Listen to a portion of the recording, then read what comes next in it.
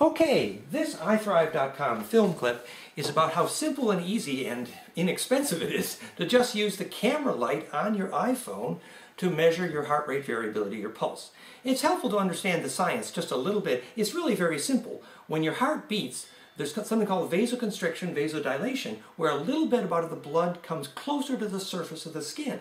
So as the blood comes closer to the surface of the skin, the light penetrance, the ability of light to enter and be bounced back, is reduced slightly. It's called vasodilation. Remember, this is the mystical order of the red hand. Those who can relax can make their hand turn red, warm, and when you touch your lover, your hand is warm because you're able to relax. So the skill to relax is the esoteric order of the red hand.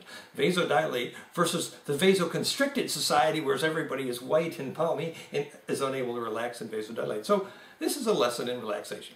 Anyway, so that using the camera light just uses that physics to test the light penetration and measure the pulse. So when we're setting up the camera light here, Patrick is going to demonstrate, and I'm just going to zoom in on the camera. So you hold your finger on the light. Yes. To, to get the the Mayer wave, the, so the, the, the wave which is uh, the, on the, the other wave, you, you don't have to move the, then you, you don't have to change the, the pressure, the pressure of your finger.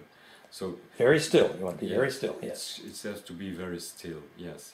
It's, you have to learn how to. to it takes a little practice to, to get used to being very still with your finger. So now the light is on. See, is, the, uh, the light is on, and so it's measuring Patrick's pulse. Pulses.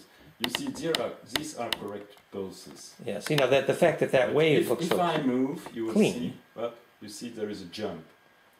And you have to avoid this kind of jump. Yeah, so that movement creates an artifact. Yes. It's obvious. Yes. So you just yes. basically stills. But look how beautiful and clean that data is now.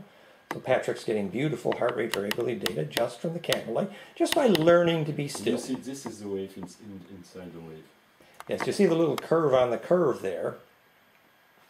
Like, like the, the tops of the waves go up and down in, in synchrony, like a wave on the wave, and that's the pressure wave, which is showing up beautifully here. Just zoom in just a little bit.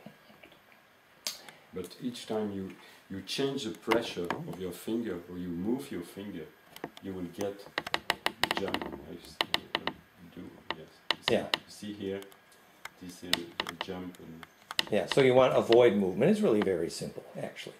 And then yeah, you see these are movement, these yeah. are jump. And that creates a bit of an artifact. Here, here again, we get the wave on the wave.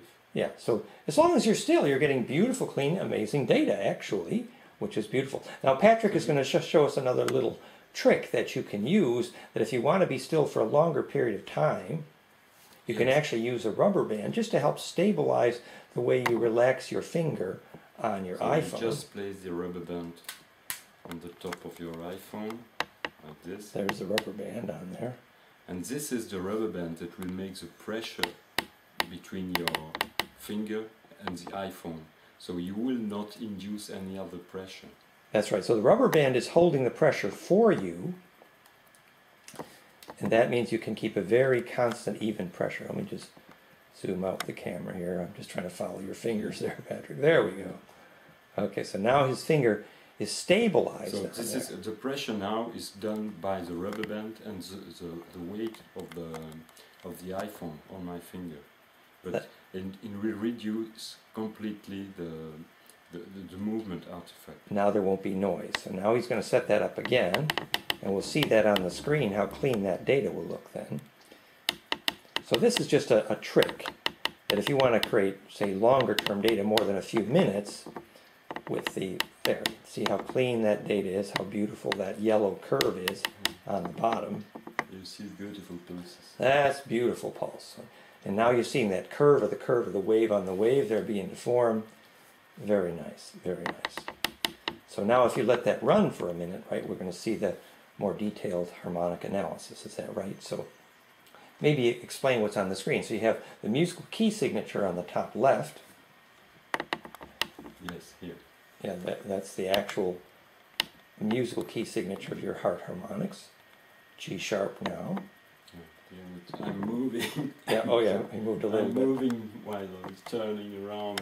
Yeah. You have to, to, to be very relaxed and uh, Very calm still. and, and very Yeah. still to use this. It's a very, very cheap sensor, but it's not easy to use. And Yeah, you have to, to well, learn, as to long learn as- a little bit. As long as you're Yes. still, but you're actually getting some beautiful data. So you see, you see now the wave. Yeah, that's the curvature. It's looking very nice. Yeah. So this is the Yeah. heartbeat interval. This is the LF and the HF component. The blue is the LF component from the heart rate variability. The yellow is the LF component from the pressure wave. And that's what we la- later look at the phase relationship, right? And this pulses here, the wave on these pulses here Yeah. is the yellow curve here, Yeah. which is appearing. The pressure wave. And uh, what's nice is here you have an inexpensive transducer. It's built into your iPhone, and if you learn to be still with it, you can see that pressure wave, and so you can see the long-term Mayer wave on all that fun stuff on the heart rate variability without even ordering a transducer. So it's a great way to get started with iThrve.com. So that's the camera light, and then later it shows a higher resolution display, and we're going to talk about storing and retrieving displays and reports in another film. Thank you.